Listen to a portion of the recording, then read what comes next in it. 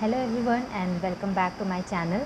My name is Pragati Singh and uh, I have qualified UGC NET JRF in management and uh, UGC NET in the uh, subject human resource management or labor welfare. So as promised I am back with another video.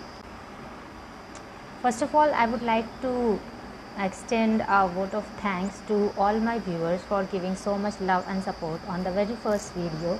Thank you all. So what I'll be sharing today. First of all, I'll be sharing the process to apply at IIT Delhi. Then I'll be sharing the detailed interview experience and then one last slide will be related to a little bit of Gyan. So the process for applying at IIT Delhi for the PhD program is it, uh, starts for the summer session in the month of March. The application started from 14th May 2023 and the last date was 6th April 2023. The basic eligibility criteria is that the candidate should have uh, qualified either UGC NET or UGC NET JRF.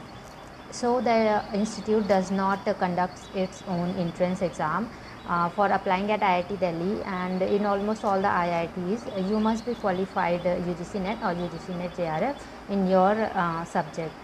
I have, I have applied in the Department of Management Studies and uh, in, in the DMS department basically the students who have qualified the UGC NET exam in the commerce subject, management subject or HRM subject or any other subject like uh, psychology or social work which can be directly or indirectly related to the HR uh, they can apply in the DMS department. So if I talk about the requirements uh, that were required to be uploaded, uh, apart from the general things that are filled and the general documents that are uploaded, SOP was required and an abstract was required. SOP is a statement of purpose. A statement of uh, purpose uh, is basically a document, it is a one page document in which the student has to describe his interest, why he is interested in the subject, and uh, how he developed the interest in research, and uh, what motivates to him to do PhD. Uh, that is, uh, you have to answer the question why PhD and why that particular institute. So, you have to basically answer these questions and mention in the statement of purpose. Uh, the second document was abstract. Abstract is uh, basically, uh, it can be said summary of the research proposal and it should also not uh, exceed two pages. So, two pages maximum and it is the summary of the research proposal.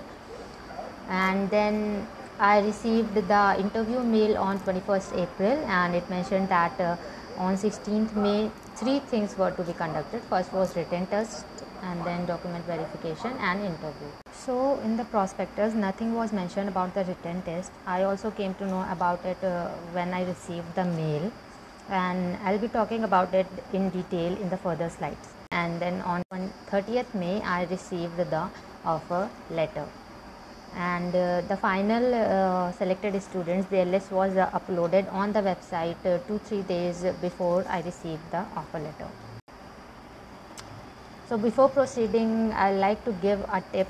The tip is regarding the abstract or uh, we can say the research proposal. Though only the abstract was required to be uploaded and also during the interview they didn't ask for research proposal neither they asked for any ppt or uh, something. But I will uh, I will suggest you that you should have uh, prepared the detailed research proposal because uh, uh when you prepare the detailed research proposal uh, discussing each and everything then only you will have the deep knowledge about the study that you want to conduct and that will be helpful for you during the interview. So now I will talk about the written test so in the offer letter and on the DMS IIT Delhi website, the only information that was given about the written test was that it will be of one hour and it will be of descriptive nature. So we didn't had any clue whether the questions will be related to research or the questions will be related to the specific uh, subjects or it will be related to all the subjects.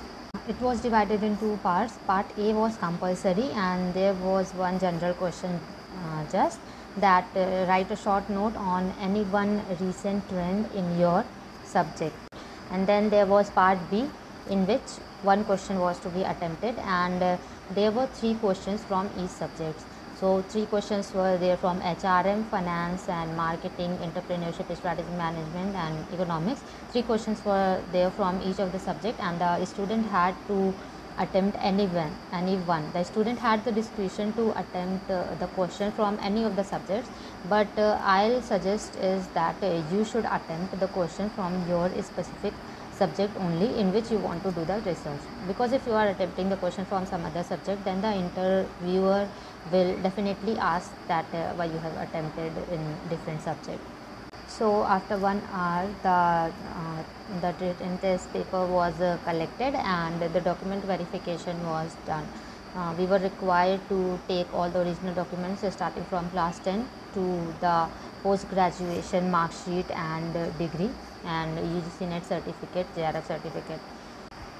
Then uh, I'll talk about interview. So if you ask that how many number of students were there at the interview so a total of 320 students were called on uh, 16th but uh, i think around uh, 200 to 250 students attended the interview. So 200 to 220 they were related to all the subjects uh, all the sub subjects of the management like finance marketing and hr ob and in my particular subject area that is human resource management and ob i think a total of 50 uh, 50 to 55 students were there who took the interview the faculty of the respective subjects they take the interview. So in my uh, in my subjects there were three faculties they took the interview. If you ask about the panel size so panel size uh, depends on how many teachers how many faculty are there related to that particular subject. So it could differ from 1 to 4 or 5 even. Specifically if i talk about the hr area there were two rounds of interview and in all the other subjects only one round of interview happens. So it can happen that uh, there are two uh, more than one rounds of interview. So one should be prepared for that and one should not panic at that time.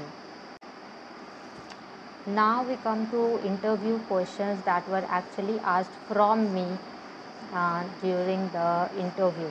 So in the first round in the hr and the ob subjects uh, two faculties were there but uh, during my time uh, ma'am had to do some work i think so only one sir was there who took my interview of the first round.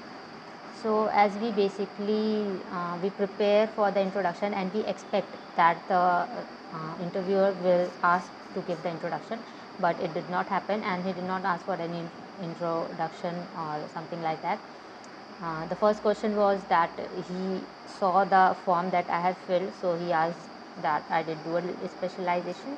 Uh, so I said yes, sir. Then he asked the name of the subjects that are related to the HR that I have studied in MBA. Then he asked about the topic.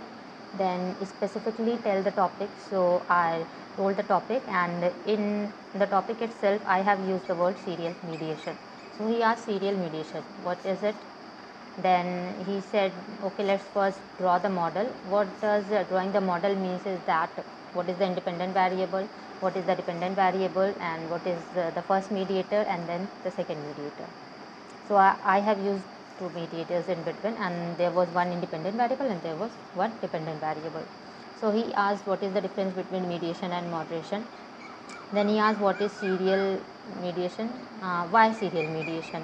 Because mediation is of two types serial and parallel. So why particularly you are using serial mediation? I was able to answer all these questions because i have studied this and i was expecting questions from this uh, particular uh, topic that is mediation. So i have studied and i was able to answer. Then he used, then he asked that uh, what are the data analysis techniques that you will be using so I told the techniques and I said that I'll be using correlation, regression and SPSS Hayes process macro. So, so the next question comes that what is Hayes process macro? I have studied this, I answered this. Then he said that do you know how to run SP, sorry, mediation analysis in SPSS? Uh, so I said that I don't know because I actually don't know and I said that yes but I have learned through watching YouTube videos and that I told him then he asked that uh, the sample size So I told him a number. He asked, How did you arrive on this number? So I told that in the old researches, uh, in the quantitative research, in the old research, uh, 100 or more has been suggested. But in those research, uh, different software has been used, which is Smart PLS. So I think this number can be taken. So then the next question comes uh, linking the previous thing that what is a smart PLS. So I told him what is a smart PLS. I will study that also. Then he asked uh, PLS full form. I answered that. Then he asked that uh, how the green human resource management practices leads to job satisfaction. Uh, my independent variable was GHRM practices and the first mediator was job satisfaction. So this is the reason why he asked this question. So I gave him a general explanation uh, which could be the possible explanation and I also added that previous researchers conclude that GHRM practices leads to job satisfaction so this can be taken. Then he asked that is this relationship true for all employees? So I told him that no because uh, uh, there are many aspects of job satisfaction and the employees may be motivated due to different the employees may be satisfied due to different reasons. So then he asked what are the theories that could support this relationship. So I have studied the theories. I uh, told him about two theories. Uh, one name I remembered that time, so I told the name and then I explained it. Then the second theory I could not remember the name at that time, so I said that sir I remember the concept of the theory, but I don't remember the name. So I explained the concept only. So he partially agreed uh, to that thing, not completely. Then he said that uh, you are assuming few things, what those can be. So there was like a, a three four minutes discussion on the basis of which he said that you are assuming few things. So I said yes, I am assuming. Uh, I could be assuming few things. So and I told that because I am more of such a person who is concerned about the environment. So I may be assuming that all the employees or all the people like that are like that only. Then the next question he asked is that who will be the respondents? So I have mentioned in the abstract that PSU employees will be the respondents. He asked why PSU employees. So I answered that that uh, because uh, the PSUs are government enterprises, so they they show that they are uh, practicing the GHRM practices. So he said that have you heard of common method variance? So i have read about it when i was reading reading the research uh, uh, papers. So i was able to answer this question also. So he asked have you considered this uh, means he was asking that if I have considered the common method variance or not. So I said yes, I am considering this. That is why I am collecting the data from uh, different categories of employees from all the levels of management. Then he asked heard of greenwashing. Then I was able to answer this also. Mm, then he asked, uh, basically greenwashing means that uh, uh, the company is only practicing the environment friendly activities on papers only and is it not genuinely concerned about the environment. So he asked, How can you judge if a company is genuinely concerned about the environment? So this question at that particular time I was not able to answer. So I said that, uh, Sorry, sir, I don't know right now. Uh, I will have to read more to know about this uh, problem. Then the next question was related to virtual workplaces why virtual workplaces? Because uh, in the written test uh, in the written test in the part b i have answered the question that was related to virtual workplaces and how it is beneficial and what are the possible demerits of it. So that is why he asked that how can you relate virtual workplaces with ghrm so i said that uh, virtual workplaces is beneficial for the environment because uh, like paperwork is reduced and all these things so he said that are you sure that the virtual workplaces are beneficial for the environment and what about the other cause? So it was like a discussion and he partially agreed with me and I was I say that I was not able to answer this uh, particular question completely. So yes, this was all about the first round, all that I could remember. This was all about the first round and it went good. I was satisfied. I was happy. Then, after all the candidates were interviewed in the first round, uh, after a few time that uh, the results came for the second round and uh, out of uh, 50 to 55 students 11 were selected for the second round. So in the second round uh, three faculties all the three faculties were there. And similar questions were asked which were asked in the first round. That particular sir who has taken the first round interview he didn't ask any question uh, two female faculties they asked the questions. So similar questions were asked related to the theories and related to the data analysis technique and all. Then few different things which were asked were like uh, ma'am asked that are you restricted to GHRM topic only? Because uh, many students I think uh, four students came with the same topic with the same broad concept uh, green human resource management. So he, she asked that if I am restricted. So I said no ma'am I am flexible and I'd be happy if the topic can be connected to G- GHRM but I am flexible. Then she asked that uh, some other theory I am comfortable answering about uh, so I said that uh, you can ask about any motivation theory. So she asked about the self determination theory. I answered whatever I remembered at that particular time. Then she asked that how the self determined goals motivate intrinsically. Then she asked about theory X and theory Y, and uh, so and I answered what I remembered uh, Uh, I was not able to answer in a very good way to the motivation theories, but yes, I remembered few things and I answered that. So this was all about the second round.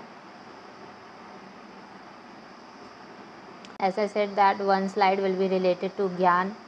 So today's Gyan is that luck may betray you, but hard work never will, and fortune favors the prepared mind. So one thing I would advise is that be prepared, give your 100% uh, because as it is written that luck may betray you. You cannot always depend upon the luck that uh, uh, because of luck you will succeed but uh, you can depend on the hard work that you have done. So this is all.